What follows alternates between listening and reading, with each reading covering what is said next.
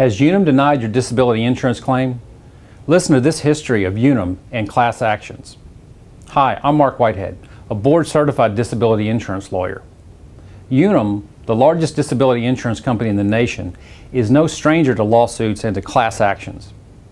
In addition to facing thousands of individual lawsuits filed by policyholders who allege their disability claims were wrongfully denied, the company has been on the receiving end of many class action lawsuits for insurance bad faith practices since 2002.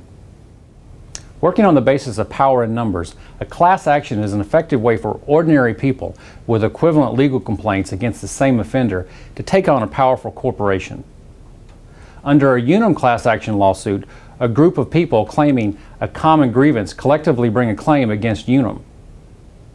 Disability insurance lawyers act on behalf of the group, and the judgment of the lawsuit is for all members of the group.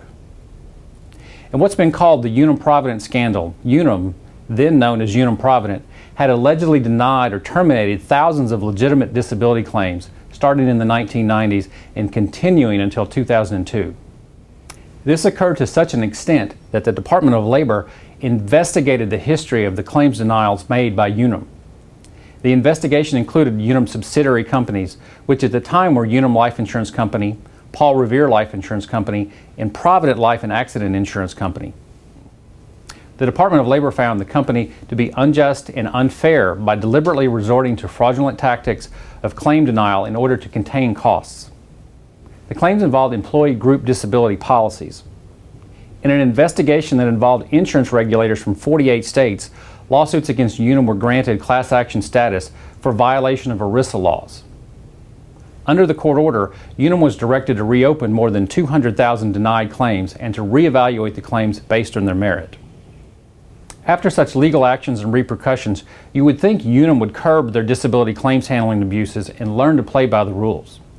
Yet, according to a publication by the American Association for Justice entitled The 10 Worst Insurance Companies in America, as of 2007, Unum confessed that only 10% of the claims earmarked for reopening under the terms of the previous legal settlement had been reviewed. This topic is discussed more in my free ebook, Long Term Disability Insurance Policies How to Unravel the Mystery and Prove Your Claim.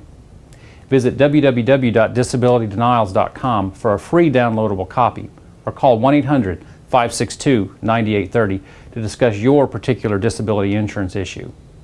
I'm Marc Whitehead. Thanks for watching.